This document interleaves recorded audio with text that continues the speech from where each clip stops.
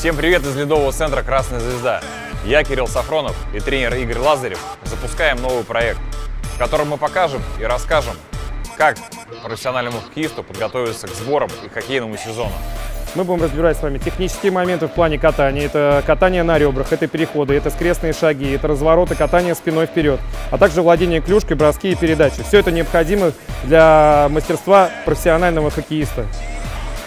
И сегодня у нас в гостях мастер спорта, серебряный призер чемпионата высшей хоккейной лиги по хоккею, капитан команды «Сканева» и просто хороший человек Андрей Рычагов. Андрей, приветствуем тебя. Ребята, приветствую, приветствую.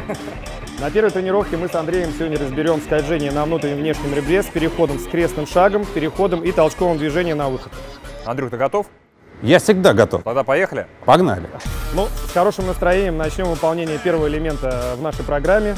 Он, что из себя будем представлять и на что стоит обратить внимание. Технический элемент э, представляет из себя скольжение на правой ноге э, внутреннее ребро, с переходом на левую ногу внешнее ребро, скрестный шаг и дальнейшим толчковым движением выходим на логичное движение с другой стороны уже на левую ногу, где происходят те же самые движения. То есть скольжение на левой ноге внутренним ребром, правой ноге внешним ребром, скрестный шаг и выпад.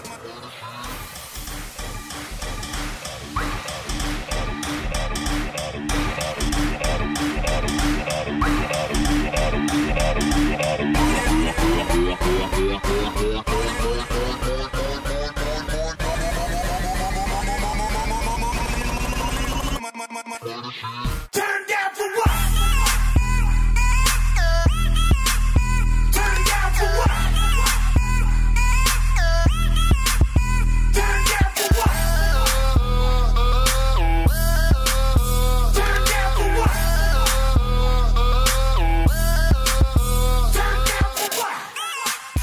Игорь, ну расскажи вот в этом упражнении, которое ты показал, которое потом сделал Андрюха, какие важные нюансы вообще, на что стоит обратить внимание, и самое важное, наверное, для чего это упражнение нужно?